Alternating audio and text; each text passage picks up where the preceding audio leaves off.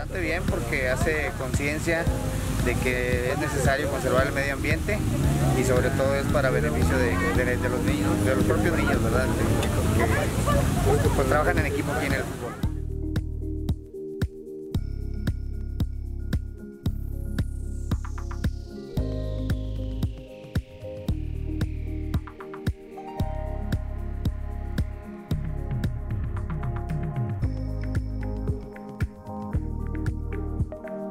Sobre todo el, valor de la solidaridad, este, trabajar en equipo como ya dije y este, sobre todo eh, pues dejar un mejor medio ambiente para, para el planeta más que nada.